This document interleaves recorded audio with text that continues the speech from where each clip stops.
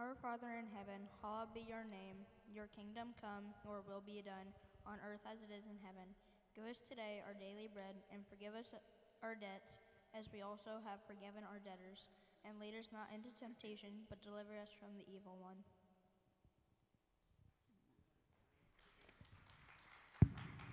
Please stand and join us as we worship our Heavenly Father.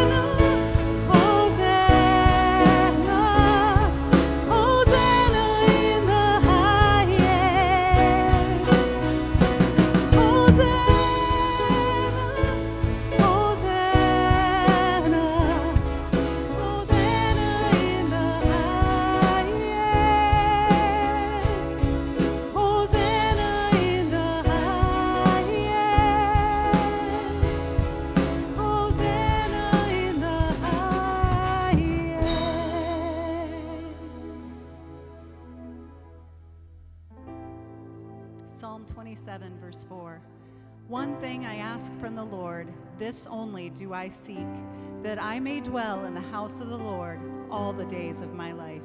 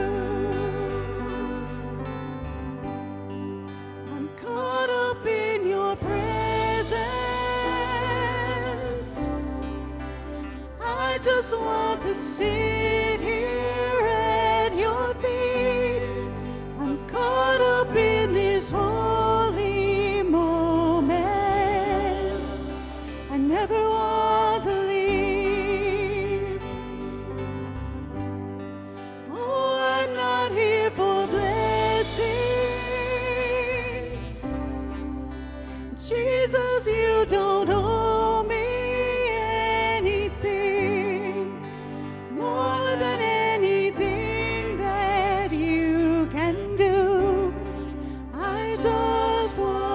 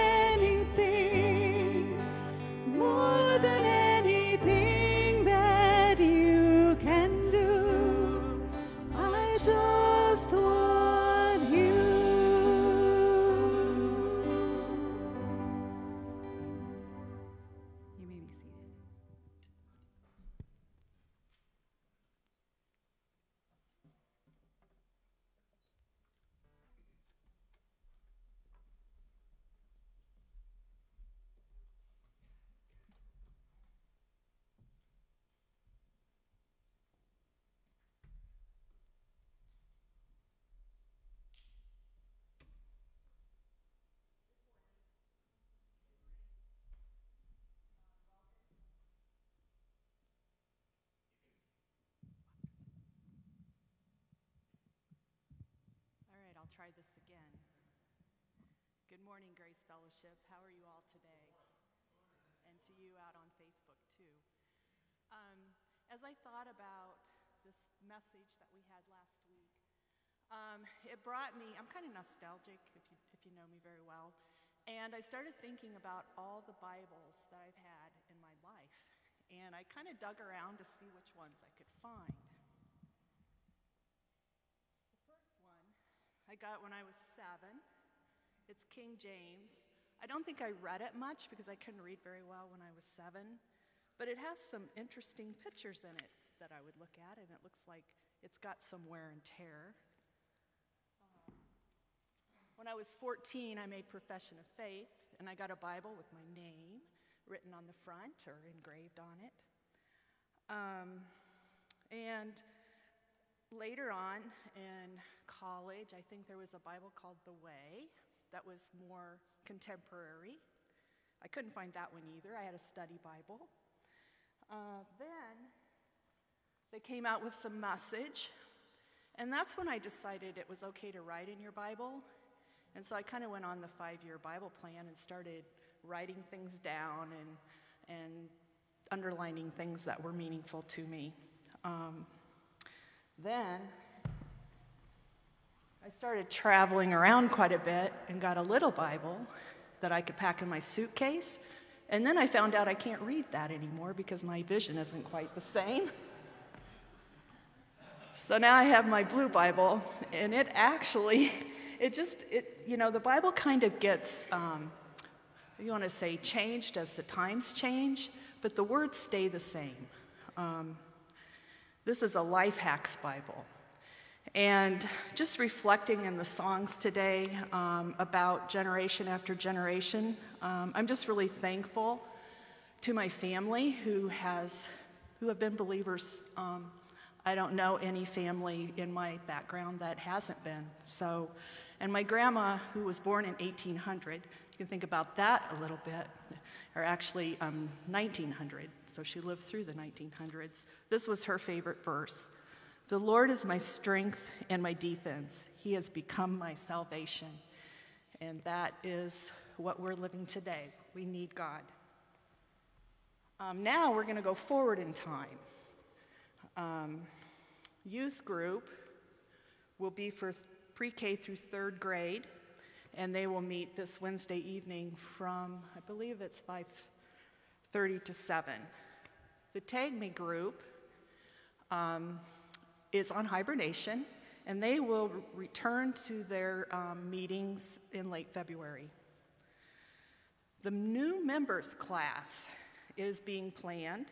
Um, this will be a great opportunity for um, people to learn about what God has done in our church, to connect with others, and to find your place here at Grace.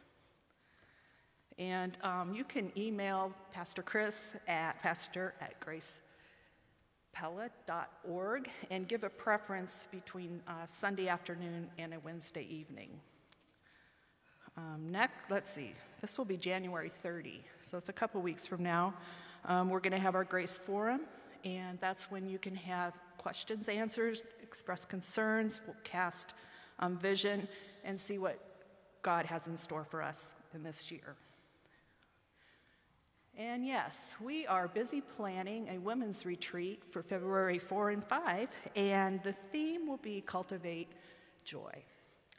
And there are registration sheets, I believe, in your mailboxes. You can pick them up by the mailboxes, um, and you can register online and look at our website for that. And you can also pay online, so we'll make it easy. We hope that um, you all come and you bring a friend. Okay, offerings. You can do offerings in many ways. You can give online, you can text, you can mail, you can put an actual check in a basket. So, whatever ways you like to give, um, that's all available. And then we have the Four Corners offering when the little treasure boxes around um, the, the build or the room here. And the money this month is going to Pastor Ryan Faber, who is currently teaching at a seminary in Zambia. So, Thank you.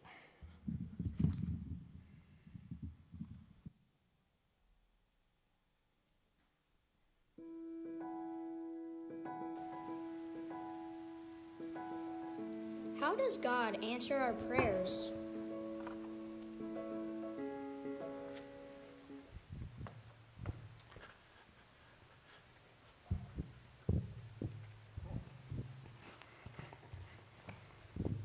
I have two offices the one that's about 200 feet that away, and one at home.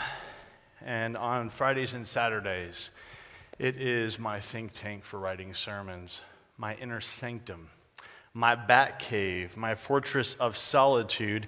And when the door is shut, it's as if the bridge has been drawn, the moat has been filled. It communicates, it means, do not open to my sons. Do not knock. Do not sneak notes underneath. And for goodness sakes, do not open that door. Unless there's an emergency, of course, like an F5 tornado or a house is being circled by bandits. Then and only then is access granted to my holy of holies. But this is not the case with God. For God, access is always granted to him. And it's in Matthew chapter 7 that we find his open door policy. Matthew 7 or page 939 in those brown church Bibles.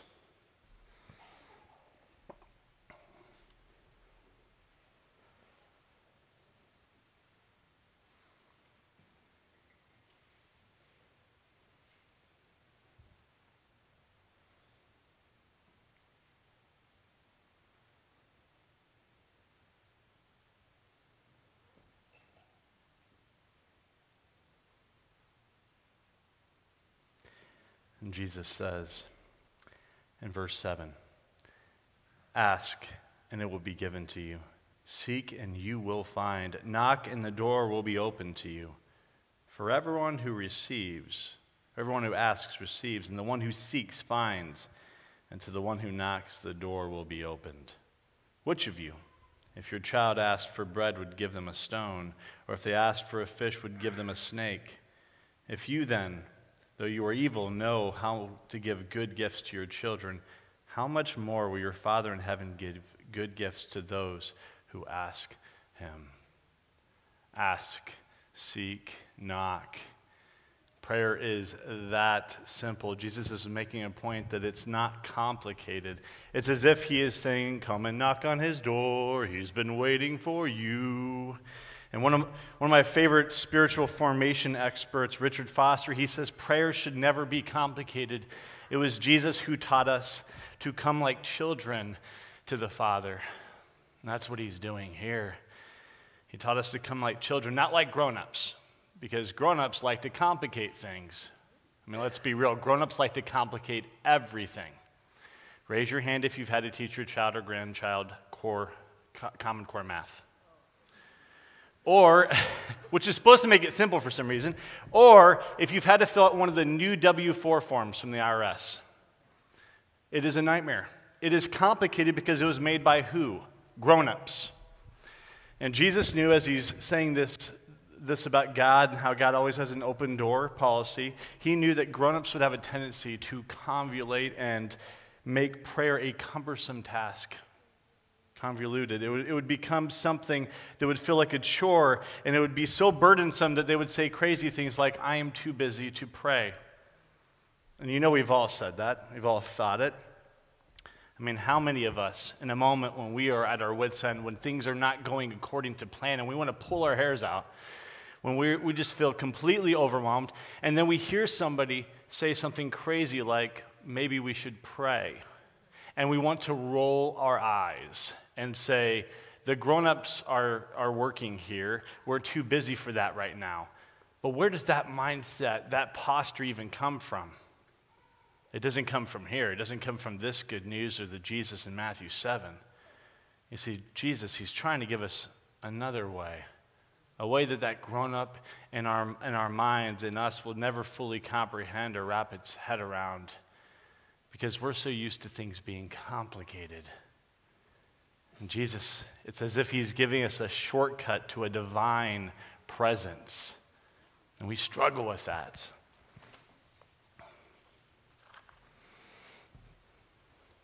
ask, seek, knock. The truth is, is I could break down each of these commands, but the gist of it is, is that going to God, it is so much more simple than we even realize. It doesn't have to be this big chore.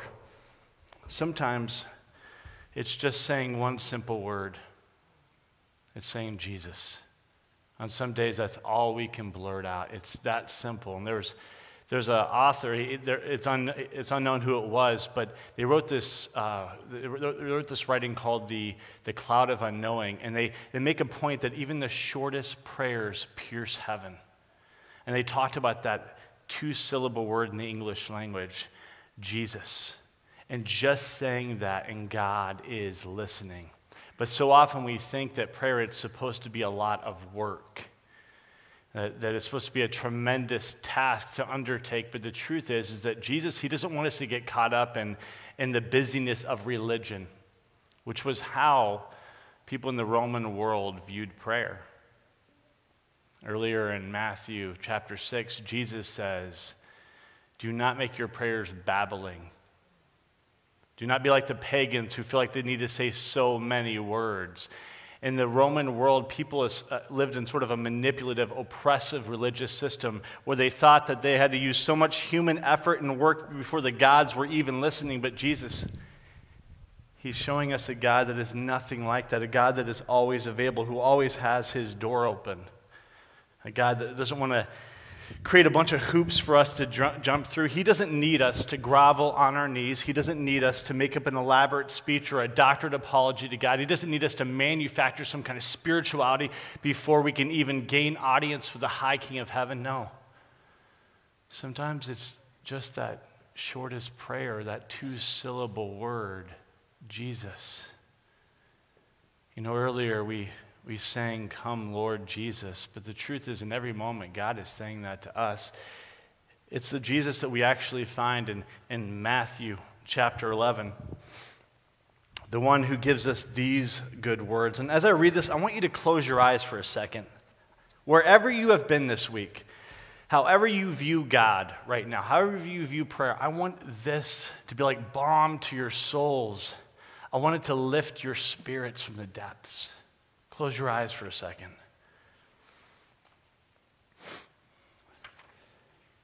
Are you tired, worn out, burned out on religion?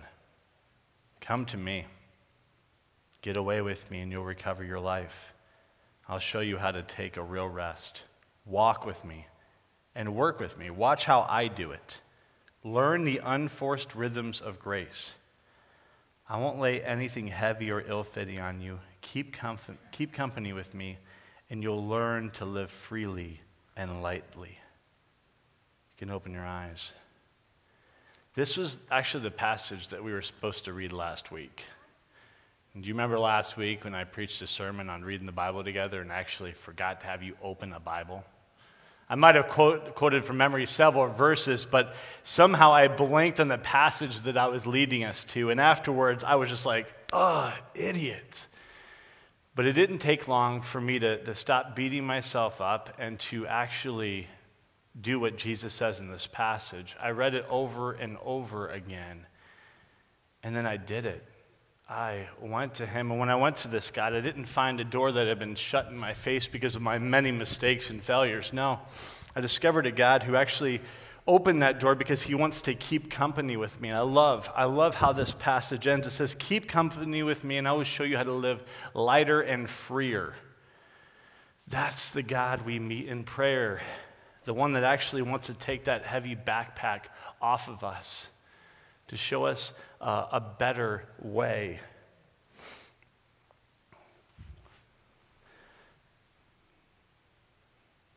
It's the God who wants to come as we are, who doesn't need us to put on that best face, but actually wants us to come warts and all. Because the truth is, in prayer, we don't put our confidence in our own spirituality. It's not in the content of our prayer and what we say. It's, it's actually the one that we pray to. That's who we have confidence. That's why we're even praying. It's like First John tells us. This is the confidence we have in approaching God. That if we ask anything according to his will, he hears us. And that means something. the fact that God hears us means something. It means something about who He is, but also about our relationship with Him. Michael Yaconelli in uh, Dangerous Wonder, he talks about how he'd have those moments with his daughter and she'd ask all these different questions. At a young age, you know, when a child is next to you and suddenly they ask you a question like, How many stars are in the sky? Or why does grandma have so many wrinkles? Or why are you bald? Um, or how do fish uh, breathe underwater? All these different questions. And you might be busy in the moment and you might just give them sort of a uh, answer that just sort of came off the top of your head, or you might have really been thoughtful about it and tried to help them to know. But in most cases, they, they hear what you have to say and they're like, oh, thank you, and then they walk away. And Yaconelli makes the point that in, in most cases, the child doesn't, you know, come into those moments just wanting to know that bit of information. What they really want to know is that the thing that they're thinking or wondering about or feeling in that moment matters to you. That that thing that is on their mind is actually valued by somebody else.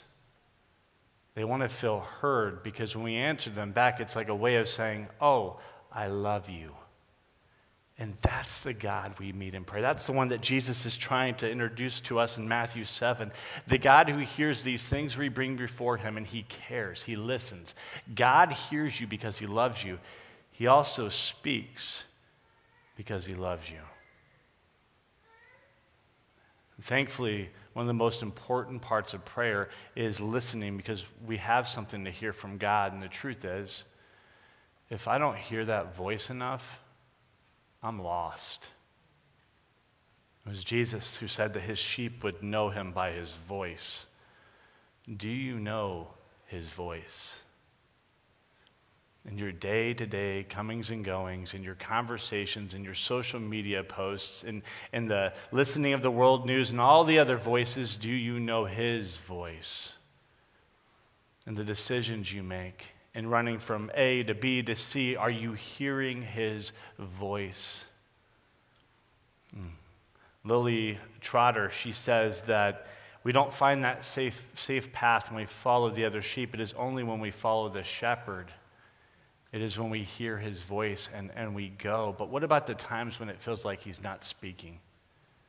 In those moments when it feels like he is AWOL, absent without leave when we lift up these prayers like Ortberg describes, and we're like lifting them up to the ceiling, and it feels like they're bouncing back at us, and we're getting nothing from them, and we're holding on to these things, and we don't know where to put them, and, and we feel like we can't let them go because it doesn't feel like anyone's taking them from us.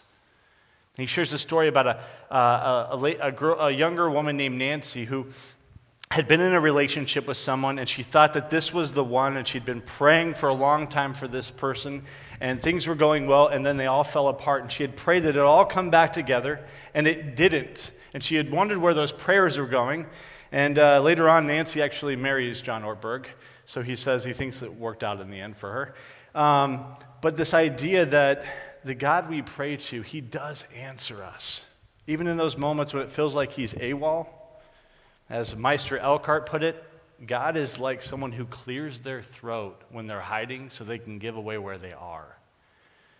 It's that moment we suddenly realize, there he is. I want to make something clear here. When we pray, God doesn't often reveal himself in a burning bush or through some kind of transfiguration.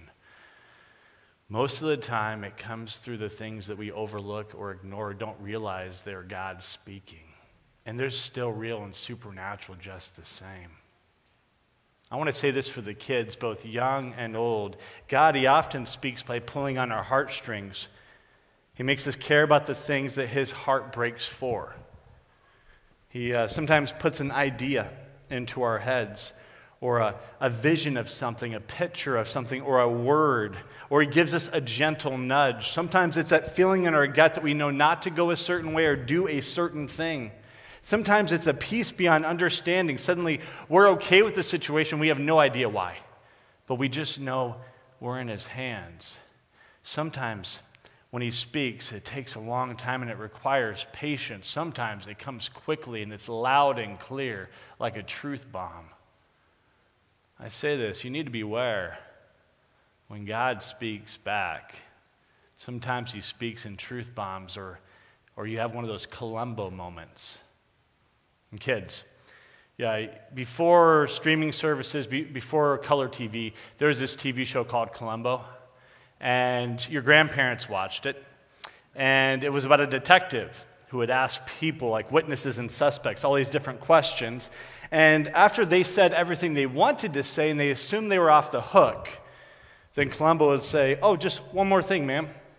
Or one more thing, sir. And then suddenly you knew there was more to the story than they were telling. In prayer, this happens. When we are bringing our stuff to God and we're complaining, or which is totally fine, he can, he, he can take it, but He also reveals the truth of a situation at times. We, we lay all these things out to Him and we feel jaded and we feel, we feel like we're being wronged. And, and then suddenly, God says, One more thing, Larry. One more thing, Kim. And then suddenly, that He reveals something in a very investigative manner that we had been overlooking or hiding. And we're like, oh, yeah, there's a bigger picture here. When God speaks, sometimes He speaks in truth bombs or Columbo moments. The God we pray to, He is pure truth, which we need so badly in a world full of conspiracy theories and misinformation. And the God we meet in prayer, He is, he is pure grace, which we also need in this world that is lacking, lacking mercy and lacking compassion. He wants to do something in us when we pray. Prayer is like this act, prayer is this activity like reading the word where he reforms our minds or he restores our hearts. It's tremendous what happens when we lift our prayers up to God. There was an Anglican minister. His name was J.C. Ryle. He says, If you cha- train your children in anything, train them at least in the habit of prayer. Because when we have that exchange with God, something happens in us. Maybe we suddenly see things different or feel different about things. Maybe we feel the thing we've been longing to feel all along, but we didn't know how to get there, and God gets us there. He helps us to arrive. And see, when we pray, something happens in us, but also something happens in the world around us. And I've seen this. I've seen this in my home on the nights when Anna and my two oldest sons will have their nightly prayer time, and it doesn't happen every night, so do not burden yourself with that expectation. And it's not formal by any means. But what happens is Anna will often start with a, with a short prayer, and then another one of them will pray, and another one of them will pray, and another one of them will pray, and another one of them. These prayers are like popcorn, they're like popping here, here, here, here. You walk into this space, and it's almost as if there is this, this divine conversation happening in stereo. And you know as you walk in that God is answering this prayer and answering that prayer, and here, pop, pop, pop, pop, pop. And it is powerful. And it reminds me every time I witness it that families were meant to pray together. But prayer isn't just a corporate experience, it's also very personal. You see, I know a lot of Christians who are really great at teaching their children corporate prayer. They, they pray with them at bedtime or at the, the dinner table, or maybe they'll pray with them when they're driving and they hear an ambulance. You know, like, God, please help those, those healthcare workers and give strength and healing to whoever needs medical aid right now. And they're great at, at teaching them corporate prayer in places like these. But prayer is also supposed to be very personal. You see, it's supposed to also be an exchange with the Jesus who made their hearts and lives in their hearts. At times, it's supposed to be the kind of thing in which a person can just lay themselves bare, strip down all the other things, take off all the other hats. In my case, in prayer, there are moments when I need to take off that pastor hat and that father hat and that husband hat and that whatever you want to call it hat, and then suddenly the only thing that I am wearing is that truest identity that I found when I accepted Jesus into my heart. There are moments in prayer when I just simply need to be Christian. There's a, a famous priest of the Cistercian order who, uh, sister, sorry, I said I actually mispronounced that. Let me get this real quick. Cistercian tradition. And he says, when it comes to prayer, it's not that difficult. You, you need only pick up the practice. But there's no way of learning how to pray in a personal sense. For, you have to return to yourself, your true and deepest nature, to that human being in Jesus that you already are purely and simply by grace. Nobody can learn how to see, for seeing is something we do by nature. So too with prayer. An authentic personal prayer has to be something that is experienced, but it is something we can model for our children. There are moments in Anna's upbringing when she'd walk into the room in the morning and she'd find her mom praying. She'd find her sort of laying over the couch with her knees on the ground. And there are moments when I saw that in that home.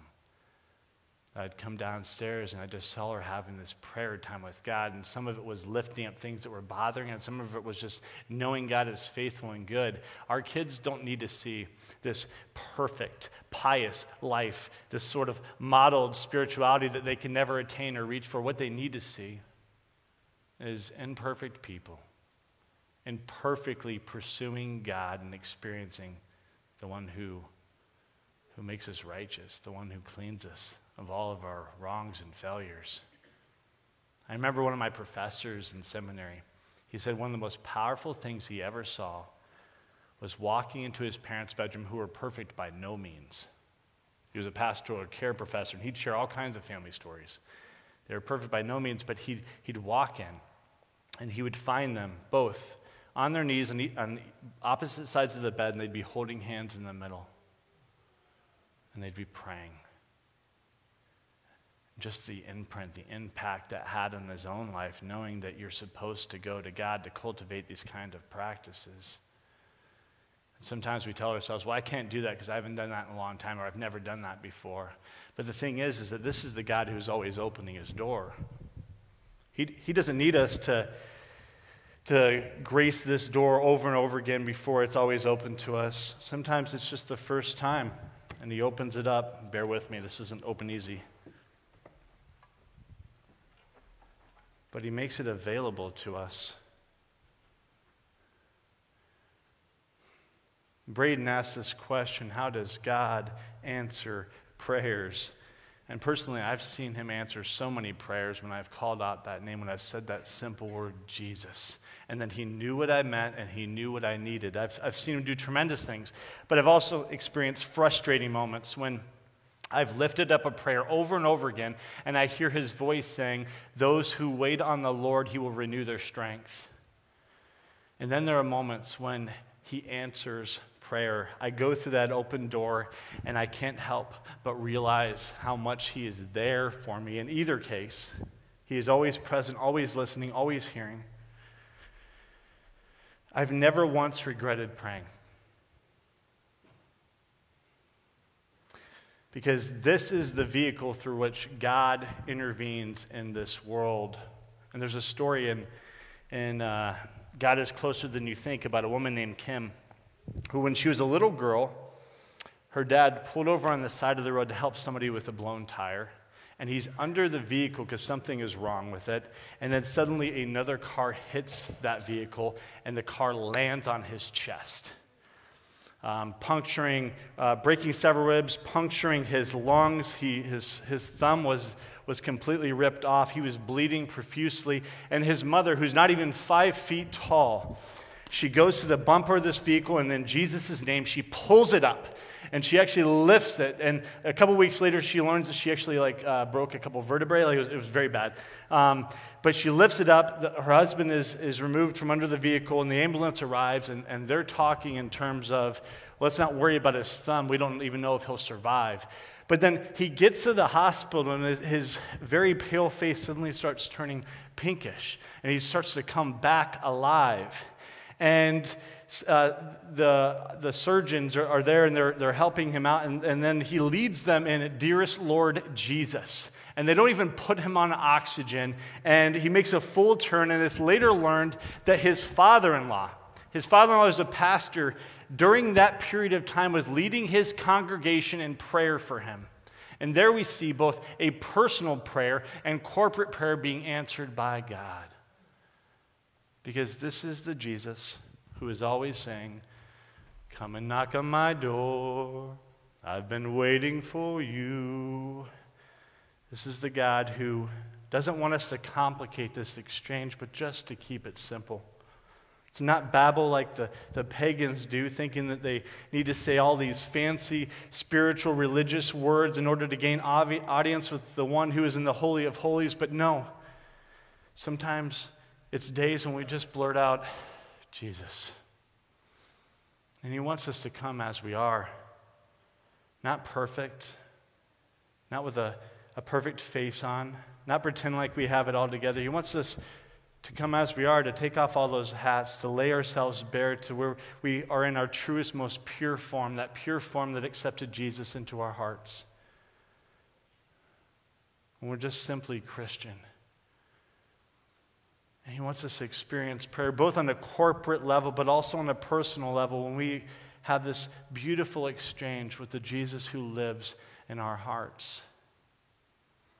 He doesn't want anything to hinder us from His presence. He wants us to come to Him like children, and He gives us that invitation every single day. I'm going to read this again because I want it to be the news that you leave with today. Matthew 7, he says, Ask and it will be given to you. Seek and you will find. Knock and the door will be open to you. He's saying, Come and keep company with me and find a lighter and freer way to live. Let's go to that God in prayer. Jesus, we know you are here right now. We know you're always inviting us into your presence. Sometimes we feel so far away from you. We feel like you've gone AWOL. But the truth is, is that you're always there. And you're always hearing us because you love us. Speak to us today. As the kids here, young and old, pray to you this week, give that tug on their hearts, that nudge that vision, that picture. Speak to them, God. Give some of us those truth bombs and Columbo moments we need. But most of all, help us to hear you saying, Come and knock on my door. In Jesus' name we pray. Amen. Please join us as we lift up praise to to our God who loves us so much and calls us to come to him as we are.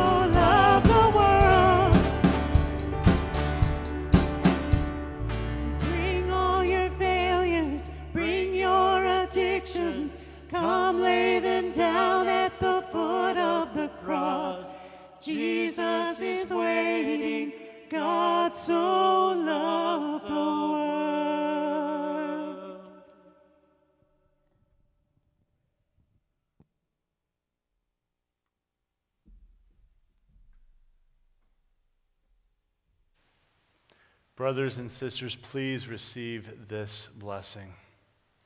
May you sense this week when you enter prayer that your Father wants you to come and keep him company, that his door is always open. And may you never forget that Jesus, he has opened that door, that he intercedes on our behalf, that he intervenes, that he is always with us. And may the Spirit enable us, even in those tough moments, to just say that shortest prayer that pierces heaven to just say Jesus. And all of God's people say,